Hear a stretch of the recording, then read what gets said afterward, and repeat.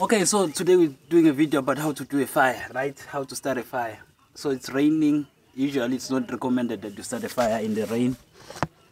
But there is a song like that. I start fire in the rain.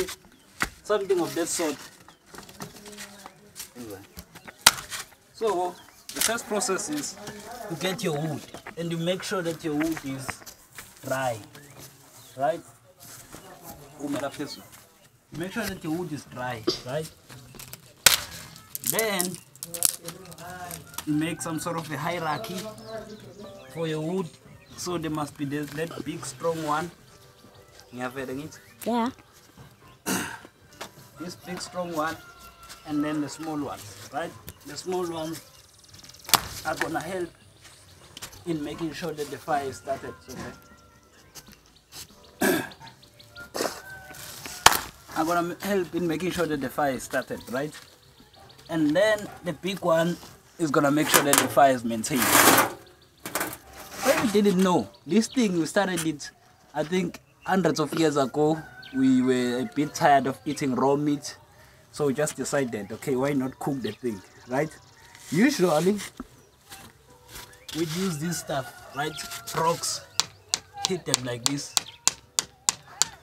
for the whole time, right? But now things have changed drastically. Things have changed drastically. We now use this little invention called matches, right? So that's how you do the thing. Shall stop. Okay, so some basic things that you're gonna need are your plastics, right? So got a whole lot of plastics here, and then gonna need that thing for making sure that this wind and this rain doesn't spoil our fire. here. Hopefully, we're able to start. Um, boarding it. Yeah. Hopefully, we're able to start the thing without any problems. Usually, the fire will be protected when there's a pot here, and then this thing. Okay, so let's let's start.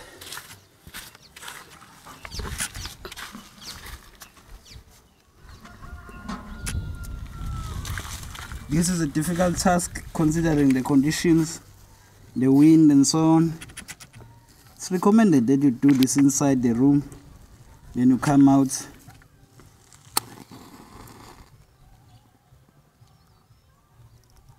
But if you're a pro, you do it outside.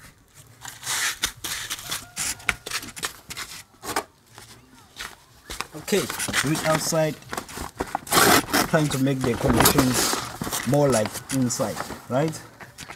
That's what you do. That is what you do.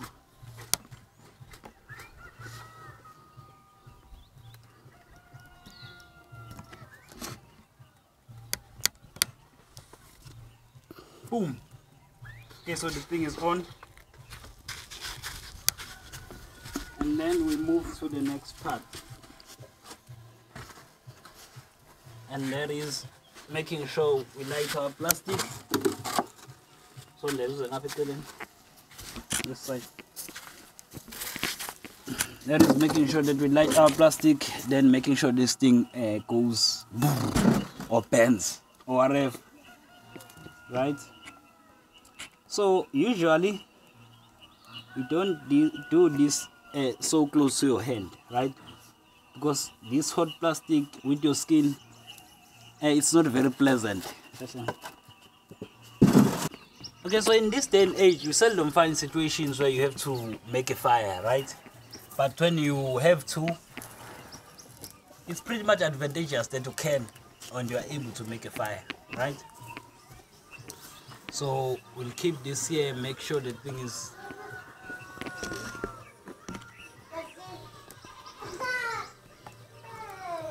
if you're cooking by the way you make sure that you need a tripod right? So that your hierarchy and your building of the thing the firewood make sure that it's on point. Everything is on point. You know that song? Yeah that's how the things go here. Other than that what else you need to know about fire right? So you make sure your wood is dry the floor that you're doing the thing is dry. If it's not dry, you become aggressive with your plastics, right? This one, this big one, I've got this thing. So I'm aggressive with my plastic because the conditions are wet. Right? What is another thing that you need to know about starting a fire? That is all essentially. Also, if, you, if you're in the woods, right, uh, in the forest, and you don't have the plastic, the easiest thing to do is to take this thing, grass, it's fast burning as well. Just collect it from the, what's this? Okay, I'm gonna need to, to stop handling this thing and focus on this fire. So now. So the wood is the wood is wet, right? That's why nothing is going on here. But you've got more than an excessive amount of this thing, no matter how wet the wood is, eventually uh, it's gonna give.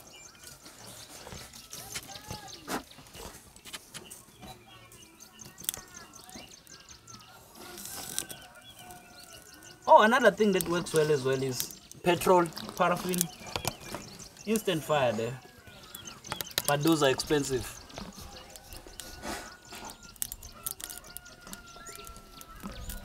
That's pen plastic.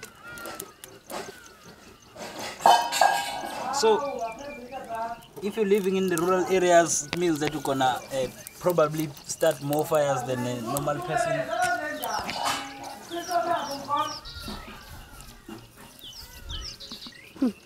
That is what we've been doing here for years. This small stuff here is the stuff I trust will be helpful in starting the fire. You make sure that you you do it this way and it works magic. works magic.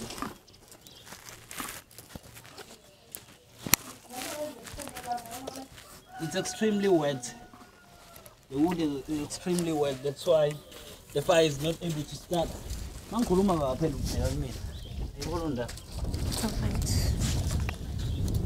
That's why it's not easy to start. Gogo. Ayisekude ukufika ebhodweni njengamanje ngoba nomlilo uyanqaba. Nomlilo uyagoloza kwamanje. Okay, so the lady in there is talking about the next process, which is to put the pot on top of this thing. But we haven't been able to make sure that the fire is uh, properly start properly started to even think anything remotely relating to the pot. Right? So we're not concerned about that at the moment. We're trying to make sure that the fire gives right?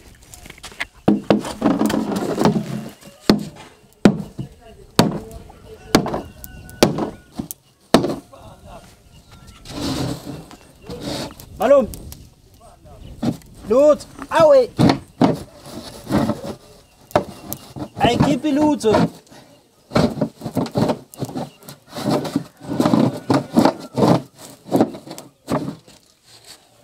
Matombol!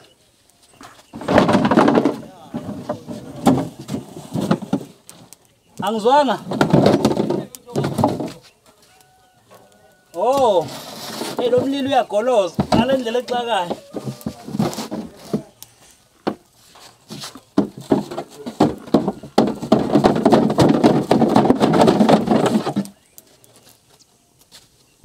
So, ay ba? Pesa nga kay ilong ko dyan, pesa nga ilong ko dyan. Aso, record? Dạ. Yeah. Ikaw, loy mi sa mga ilong ko.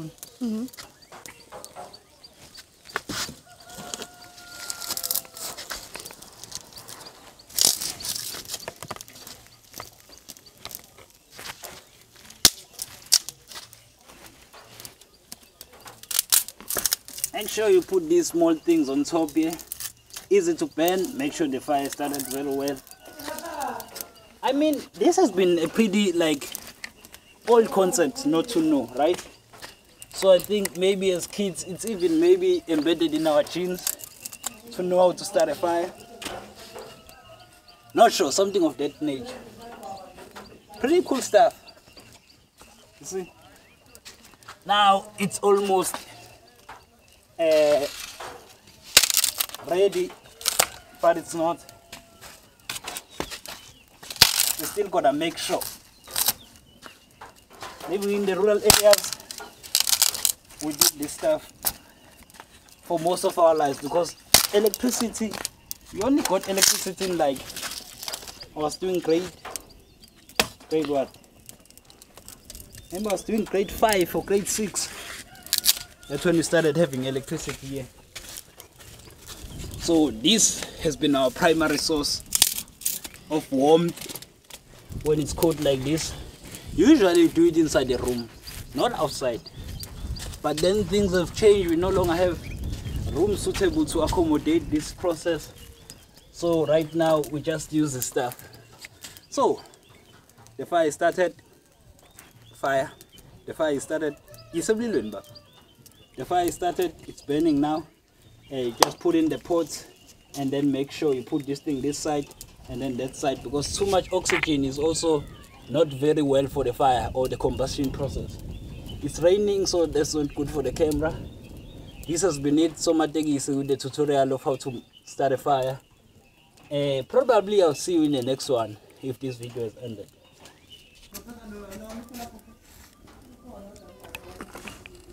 Okay, the fire has been started. Now my, I'm waiting for my brother to come and put the pot here. Here is the pot we put here. We're just cooking the idombo. Yeah, it's called idombo. So I think putting the, the pot in here now will probably suffocate the, the fire because the thing needs to be well established first before we can put in the pot. Right? Oh, This thing is a very dangerous thing to actually uh, embark on. This process of starting a fire. Many things can go wrong. You have to have the energy, the experience. you have to have the experience uh, that goes in.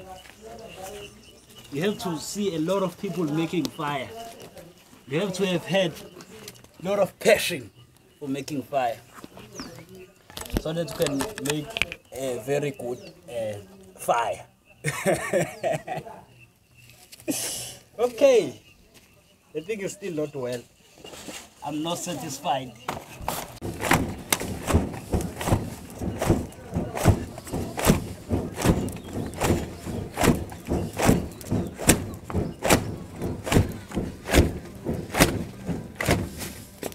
Ever learn about the concept of acceleration?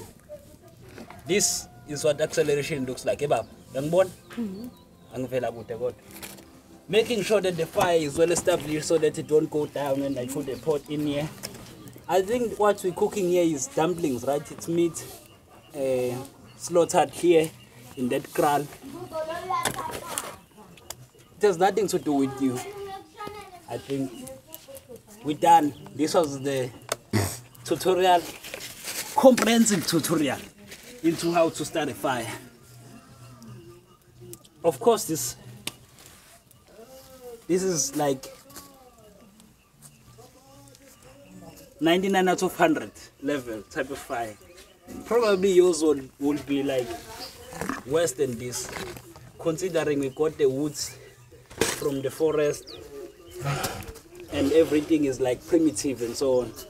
So it's 99 out of 100. The wood was wet, the ground was wet.